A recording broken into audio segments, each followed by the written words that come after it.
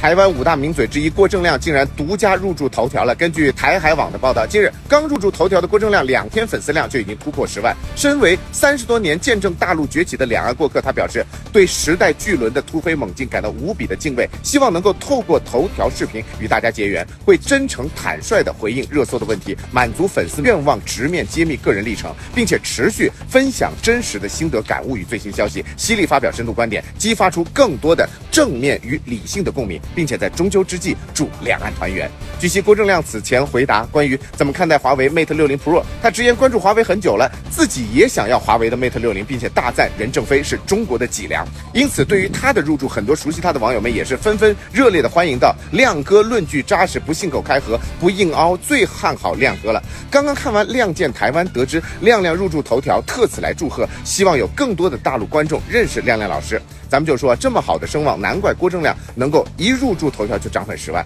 最后呢，我也想在这个中秋之际，真诚的祝愿两岸团圆。